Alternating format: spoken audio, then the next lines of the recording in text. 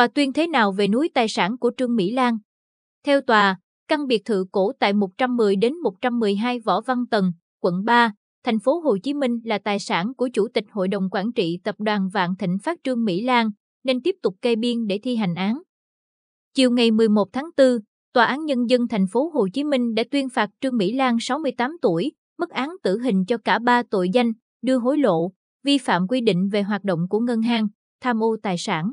Lý do đã cùng với 84 đồng phạm gây thiệt hại cho Ngân hàng Thương mại Cổ phần Sài Gòn, SCB, hơn 677.000 tỷ đồng.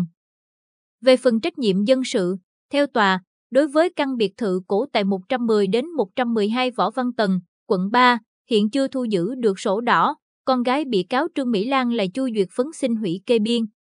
Theo tòa, cổ đông công ty sở hữu tòa nhà này thực chất là con cháu của Trương Mỹ Lan nên đây là tài sản của bị cáo.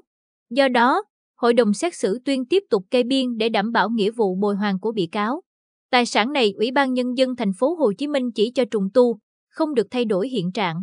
Đồng thời, đối với tòa nhà ở 75 Nguyễn Huệ mà tập đoàn Vạn Thịnh Phát cho SCB thuê, hội đồng xét xử xác định đây là tài sản của Trương Mỹ Lan, nên tuyên tiếp tục kê biên nhằm đảm bảo nghĩa vụ thi hành án. Đối với loạt bất động sản tại các quận 1, quận 7, quận 4 và quận Phú Nhuận, hội đồng xét xử cũng tuyên tiếp tục kê biên để đảm bảo nghĩa vụ dân sự của bị cáo Trương Mỹ Lan. Ngoài ra, công ty cổ phần thực hành Hạ Long và công ty Âu Lạc đã nhận từ Trương Mỹ Lan hơn 6.090 tỷ đồng để chuyển nhượng 18 triệu cổ phần. Hội đồng xét xử cho rằng bị cáo Lan có nghĩa vụ rất lớn phải thực hiện, tiền bị cáo đưa cho hai công ty trên là tiền từ SCB. Do đó, hội đồng xét xử cho rằng phải thu hồi về cho SCB, nên buộc công ty cổ phần thực hành Hạ Long và công ty Âu Lạc nộp lại 6.090 tỷ đồng. Với tài sản kê biên của bị cáo Trương Huệ Vân, cháu gái Trương Mỹ Lan, tòa nhận định bị cáo được bị cáo Lan nuôi nấng từ nhỏ. Bản chất tài sản là của chủ tịch Vạn Thịnh Phát nên tuyên tiếp tục kê biên đảm bảo nghĩa vụ thi hành án. Đặc biệt, hội đồng xét xử áp dụng xem xét theo nguyên tắc có lợi cho bị cáo trên tổng số tiền thiệt hại là 498.000 tỷ đồng. Về trách nhiệm dân sự, thực tế bị cáo Trương Mỹ Lan chiếm đoạt, gây thiệt hại hơn 677.000 tỷ đồng, tương đương dư nợ của 1.284 khoản vay. Thực chất bản chất hơn 1.280 khoản vay của SCB các bị cáo thực hiện không đúng quy định pháp luật. Số hợp đồng vay này là phương thức, thủ đoạn để bị cáo Lan rút tiền SCB sử dụng. Do đó, tòa chỉ buộc bị cáo Lan bồi hoàn tiền lãi, toàn bộ dư nợ hơn 1.280 khoản vay được xác định chiếm đoạt, gây thiệt hại 677.000 tỷ đồng cho SCB.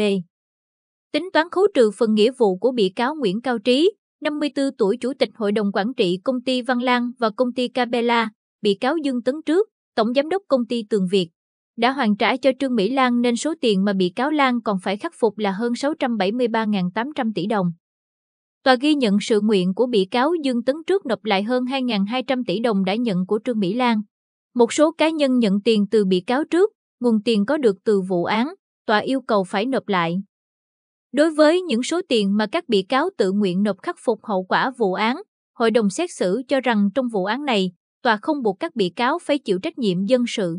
Song, các bị cáo tự nhìn nhận sai phạm, tự nguyện nộp tiền, hội đồng xét xử sẽ ghi nhận tình nguyện và xem xét giảm nhẹ khi lượng hình. Do đó, những số tiền này sẽ được chuyển cho SCB, khấu trừ nghĩa vụ của bị cáo Trương Mỹ Lan trong vụ án. Với tiền, cổ phiếu, đồ vật đã kê biên, phong tỏa thì tiếp tục thực hiện để đảm bảo nghĩa vụ của bị cáo Lan. Số tiền 5,2 triệu đô la Mỹ mà bị cáo Đỗ Thị Nhàn nhận hối lộ, hội đồng xét xử xét thấy tiền này bị cáo Lan rút ra khỏi SCB là công cụ thực hiện hành vi phạm tội nên cần tịch thu sung công quỹ nhà nước.